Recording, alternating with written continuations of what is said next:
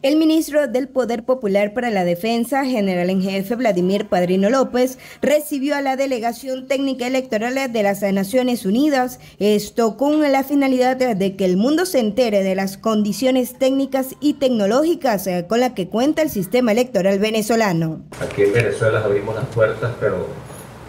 de manera diáfana. Abrimos las puertas para todos los veedores internacionales, de acuerdo a lo que tiene pautado el Consejo Nacional Electoral. Y eso nos satisface porque es una de las maneras de que el mundo sepa pues de las condiciones técnicas y tecnológicas también del sistema electoral venezolano eh, para bien de la democracia venezolana, uno de los, podemos decir que uno de los más avanzados del mundo. Y por supuesto, eh, tener el relacionamiento, pues toda la interacción internacional para que este proceso, como lo va a ser,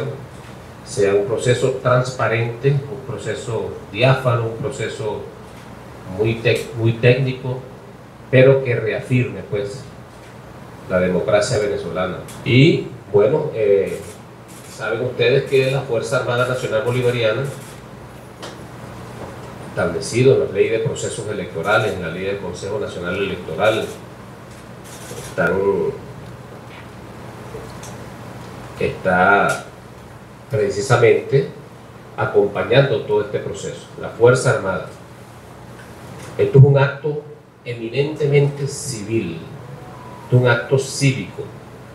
un acto cívico, esto no es un acto militar, quiero dejar eso eh, bien claro en esta mesa, ¿no? Nosotros no, no nos metemos en los procesos internos del Consejo Nacional Electoral, nos respetamos muchísimo esa institución. Es con un profundo sentimiento de responsabilidad que las Naciones Unidas el secretario general decidieron contestar positivamente a la invitación del CNE para un despliegue de un panel de expertos, que es un mecanismo de acompañamiento técnico electoral. Eh, Domenico, que está aquí con nosotros, es el jefe de este equipo técnico y es con un profundo sentimiento de responsabilidad que estamos aquí para acompañar este momento, este acto cívico que se va a expresar el día de las elecciones en ese momento tan importante eh, para el país. El secretario general de Naciones Unidas no utiliza este mecanismo muy, muy de frecuente, es algo que se hace en ocasiones especiales, sentimos ese, ese honor, esa responsabilidad